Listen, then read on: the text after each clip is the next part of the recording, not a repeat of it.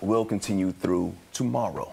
And we will not hear from those, those guys for the next four or five years. No. Well, I was going to say, Yeah. when you talk about the baseball draft, uh, it's re- it really is. It's more. I think it's more hit or miss than the other Mm-hmm. in, in this country. The other Yeah. two major sports, basketball and, and football, because you're like, okay, and then they could they, can't they go back into the uh, Go college back, system back to the as college well? system and They so, can, in the minors yeah. for three or four years. Yeah. Mhm. You hear about some of those guys, some of the top picks, they'll Right. come up sooner than others, but yeah. Yeah. That's why the Major League Baseball draft really isn't that televised Yeah. like basketball Right. and football. Right. Yep. I remember Kyler Murray, uh, quarterback for uh, Arizona, got drafted. Mm-hmm.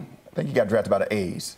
I Yeah, he did. He did. Yeah, and then I remember Russell Wilson got drafted, but I can't remember who drafted him. I think the Yankees. The Yankees or, the, or the Rockies. Well, yeah, the- I know somebody yeah. drafted him as well. So you know, it's it's the draft. But we only got such good picks because we're so bad, right? Well, I mean, I just There is that. There is won a. World Series a yeah, couple years yeah, ago. we did, we did. We're still living on that. Yeah. Uh, four minutes before the top of the hour, live look at National Harbor. We're going to have one more check on the weather.